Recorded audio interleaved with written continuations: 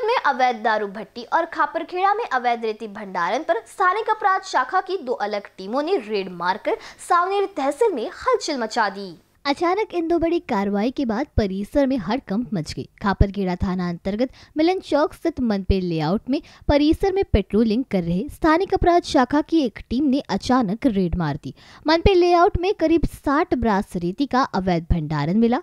घटनास्थल पर एक जेसीबी और एक ट्रक मिला। ट्रक में चार ब्रास रेती मिली। पुलिस ने जेसीबी और ट्रक दोनों को जब्त कर लिया।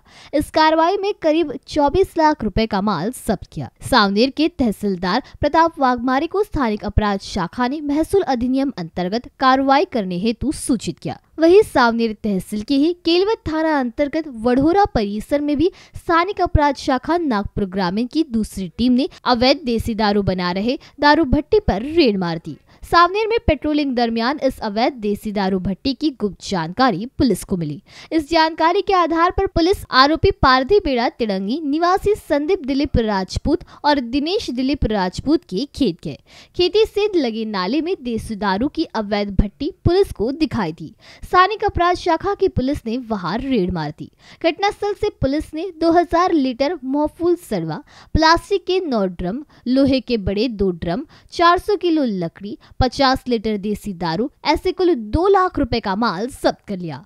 इस संदर्भ में स्थानीय अपराध शाखा नागपुर ग्रामीण के पुलिस निरीक्षक ओम प्रकाश कोकाटी ने बताया कि नागपुर ज़िले में चल रहे अवैध धंधों पर पूरी तरह शिकंजा कसना यही हमारा काम है। पुलिस अधीक्षक विजय मगर इनके आदेश और मार्गदर्शन में स्थानीय अपराध शाखा आगे इस तरह कार्रवाई करती रहेगी। स्थानिक अपराध की टीम ने दोनों कार्रवाई में करीब 26 लाख रुपए की कार्रवाई की है। यह कार्रवाई एपीआई अनिल राउत, नाना राउत, आशीष मुंगले, राजू रेवतकर, अरविंद भगत, वीरेंद्र नरड़, शैलेश यादव, उमेश फुलबेल, साहेब राव बहाड़े इन्होंने की। केलवत और खापरखेड़ा से कैमरामैन मयूर सुतोनी के साथ अरुण महाजन और दिलीप कचबिए की रिपोर्ट।